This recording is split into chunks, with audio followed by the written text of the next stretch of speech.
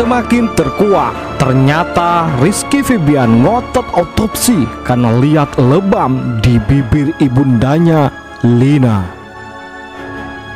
Makam Lina Zubaida mantan istri Zuli di Jalan Sekelimus Bandung dibongkar oleh penyidik kepolisian pada Kamis 9 Januari 2020. Hal ini menyusul laporan Rizky Febian atas kejanggalan pada tubuh ibundanya Lina sulung dari empat bersaudara itu melihat lebam di tubuh almarhumah Lina.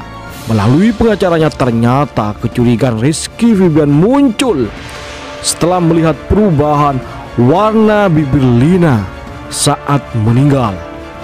Saat dimintai keterangan, penyanyi berumur 21 tahun itu tidak buka suara dan masuk ke dalam mobil berwarna merah.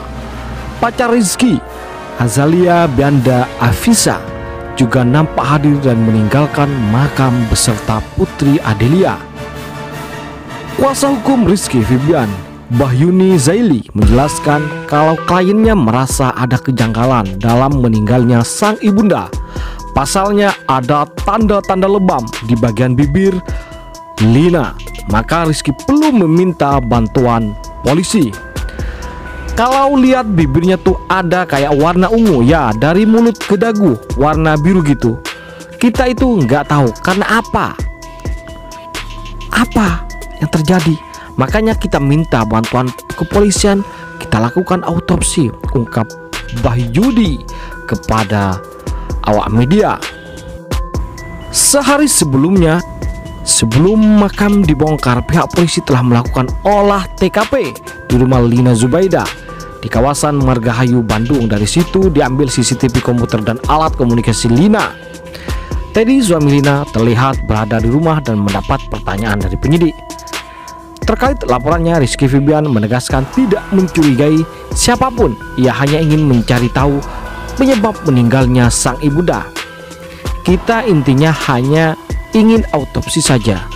Kita belum menuduh siapa pun bahwa itu ada siapa, kejadian apa, biar karena kepolisian itu yang tahu. Ini karena ada hal yang dianggap janggal, kemudian itu diminta autopsi ke Polres ujar Wahyudi. Selaku kuasa hukum Rizky Febian pada Kamis 9 Januari 2020. Itulah guys, sedikit demi sedikit ternyata terkuak alasan Rizky Febian yang sebenarnya. Ternyata bukan hanya lebam di tubuh ya tapi di bibirnya sampai dagu ada lebam dan berwarna biru itu sesuatu yang janggal buat Rizky sehingga dia meminta kepolisian untuk membantunya dalam proses menghilangkan kecurigaan dan membuktikan bahwa tidak ada yang dipersalahkan dalam hal ini. Jangan lupa komentar di bawah like dan subscribe. Terima kasih telah menonton.